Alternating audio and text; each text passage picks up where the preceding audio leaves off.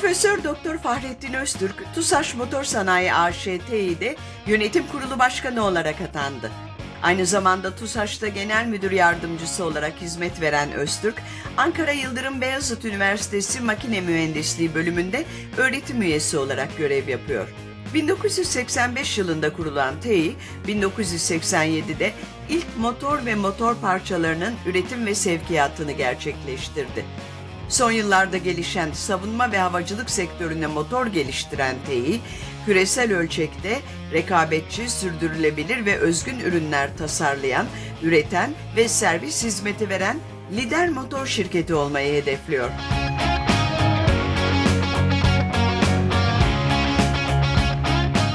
Gulfstream'in G700 ve G800 işletlerine güç verecek Rolls-Royce Pearl 700 motorları ABD Federal Havacılık İdaresi FAA'den sertifika aldı.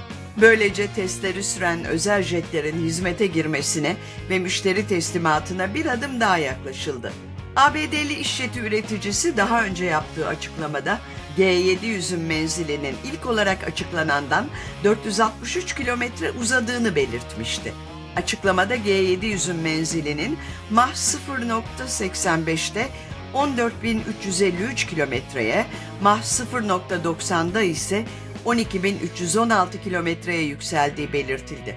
Ayrıca G700'ün maksimum çalışma hızının ise Mach 0.925'ten Mach 0.935'e yükseldiği, böylece Gulfstream filosundaki en hızlı iş jeti olduğu bildirildi.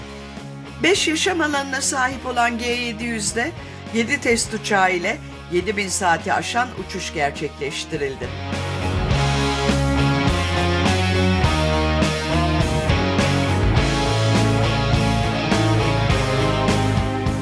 Frank Rubio 363 günle uzayda en fazla kalan ABD'li astronot rekorunu kırdı. NASA'dan yapılan açıklamada Rubio'nun 27 Eylül'de dünyaya döneceği ve o tarihe kadar kesintisiz olarak 371 gün uzay görevinde bulunmuş olacağı kaydedildi. Rubio ve beraberindeki iki Rus kozmonot 6 aylık bir misyon için Rus Soyuz kapsülüyle uluslararası uzay istasyonuna gitmişti. Ancak Soyuz MS-22 aracında arıza tespit edilmesi üzerine kapsül mürettebatsız olarak dünyaya dönmüştü.